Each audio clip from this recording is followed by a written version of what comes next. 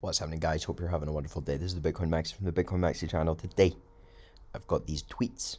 First tweet and the response. So, the first tweet was from the Time Traveler. He said, I said it, and I'll repeat it one more time. The Copa Court case does not matter. BSV is the real Bitcoin, whether you like it or not. The BTC investors are just gambling. They will all join BSV. So, he says the Copa case doesn't matter. This is what I've always stressed that it doesn't matter if Craig is really Satoshi or not. That could be a psyop. What really matters is that BSV is the real Bitcoin.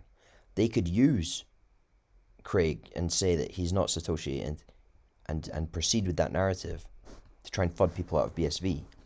But at the end of the day, it does not matter because you can verifiably tell that BTC is an airdrop, that Bcash is an airdrop, because the wallet addresses are verifiably different. There, it is verifiably through research that anybody can do, it's verifiably the original Bitcoin protocol, which means that pretty much everything Craig's saying is right. Whether he's Satoshi or not, that is the least down on the priority list compared to all the things that he has explained to us. He's explained everything about Bitcoin to us. He understands Bitcoin better than anybody else. So even if he's not Satoshi, maybe Satoshi's dead. He's the closest thing to Satoshi we have. And the BSV protocol is the closest thing to Bitcoin that we have. So th- th- there can't be a new Bitcoin. There can't be a fork of Bitcoin that becomes the new Bitcoin. That would just be another scam.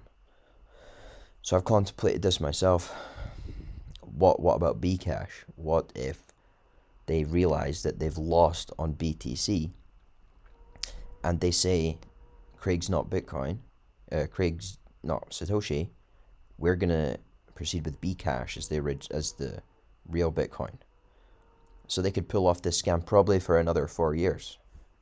Um, because they would just pump Bcash to the moon, leave BSV where it is, say that Craig's a scammer, let BSV just go to zero, and tell everyone that Craig's not Satoshi and that Bcash is the real Bitcoin. They could easily do that, and maybe even pull it off for two cycles. Um, but are you are you in Bitcoin because uh, to make loads of money, or are you in Bitcoin because you like the white paper and you like Satoshi's vision and you believe in the original Bitcoin protocol, even if that takes uh, two more cycles? Because at the end of the day, the real truth will be exposed. There's too many people awake to what's going on, and we will get to the bottom of the truth. Now, I've been going into this. Uh, space looking for the truth and listening to all these different sources and trying to decipher my truth. And from from all my research, I can't find anyone who knows more about Bitcoin than Satoshi. And after listening to him and coming to him with my question, you know, I've never been like a, I've never been like, oh, Craig's obviously not Satoshi because the only person that come forward and say stuff like that with certainty are just fucking scammers. So I, I really like really wanted to know the answer for real and um, every question I've had, every concern that I've had, has been quickly addressed by Satoshi.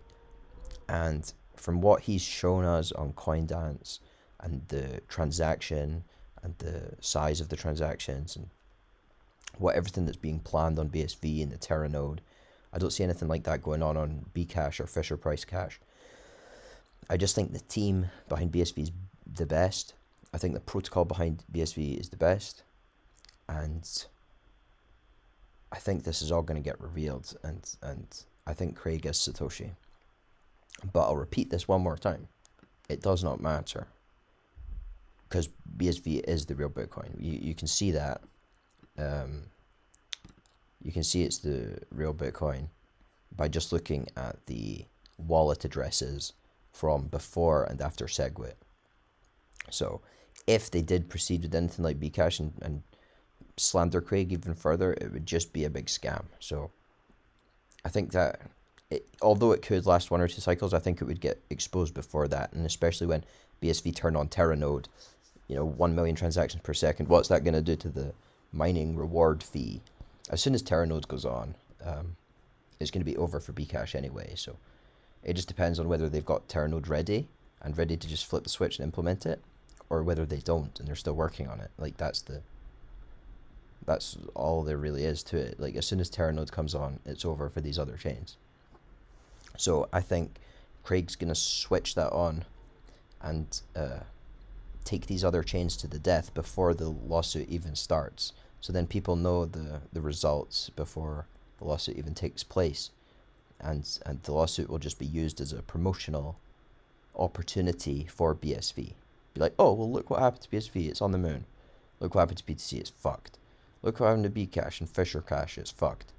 Um, but BSV's mooning, and now we've got attention every single day for this lawsuit, and we've got everyone in Bitcoin's attention for this lawsuit, and and BSV will. This is my prediction. BSV will already be winning by the time we see Craig, Craig in court, and uh, this could unfold over the next few days. So, Art on Bitcoin says, if Craig loses to Copa, BSV will be done which I don't believe is true because think about everything that they've done to BSV already. They forked the chain, they pumped BTC, they pretended it was the real coin, they pretended it was the real deal, they fucking launched an ETF on it, they FOMOed in billions of dollars of um, exit liquidity at these prices. Like everything they've done to BSV, and it's still kicking around with over a billion on the market cap. These people don't care if Craig wins. They hope he wins because the pump will be better but as long term investors in Bitcoin, I don't think a lot of the people care. Of course, it would take a massive hit. It would probably lose 50%. But it would eventually recover. And in 10 years' time, it will still be there. And in 20 years' time, it will still be there.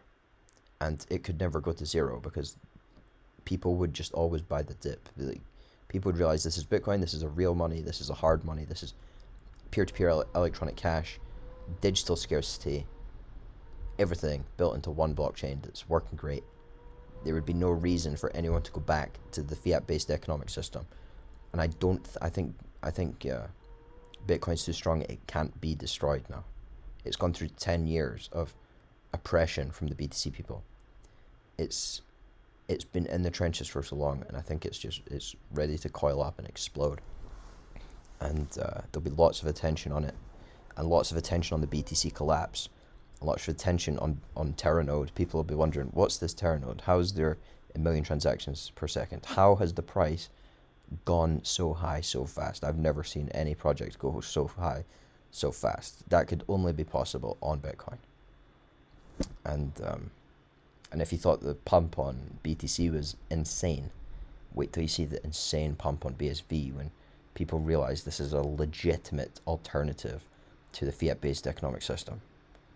Um, so yeah, I'm one of the camps says, lol, it won't die.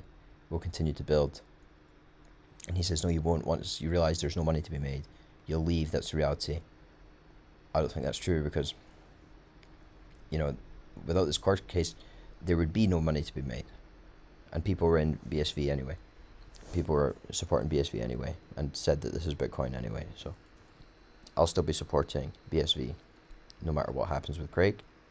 But I hope Craig does win because I want to see him succeed. I think he's a winner, and I want to see him succeed on the highest possible level because if anyone deserves it, I think it's him.